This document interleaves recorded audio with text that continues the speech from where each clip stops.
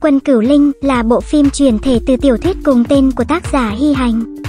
Trong 6 năm của Hiền Đức đời Chu Thế Tông băng hà.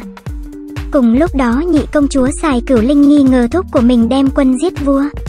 Một loạt diễn biến bất ngờ xảy ra như cái chết của vua cha, sự ngược đãi của người chồng mới cưới. Cái chết của sư phụ và các tỷ muội. Cửu Linh quyết tâm tự mình điều tra, vạch trần âm mưu xoán ngôi của Sài Nhượng. Trong thời điểm này, Cửu Linh và con trai thành quốc công là Chu Toàn cùng hiệp lực chống lại kẻ thù ngoại bang.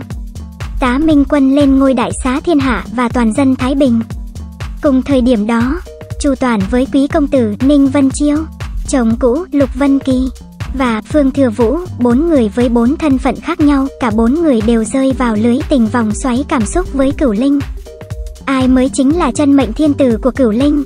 Vận mệnh luân chuyển, từ từ chuyển động từ từ quay. Phim khởi chiếu ngày 7 tháng 9 năm 2021. Chọn bộ 40 tập.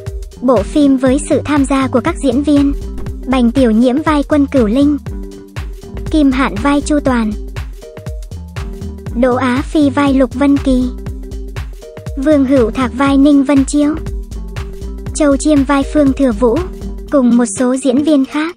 Phim được phát hai tập mỗi tối chủ nhật thứ hai và thứ ba hàng tuần trên Youku. Đối với tài khoản siêu VIP sẽ xem trước 6 tập vào mỗi tối thứ tư hàng tuần trên Youku.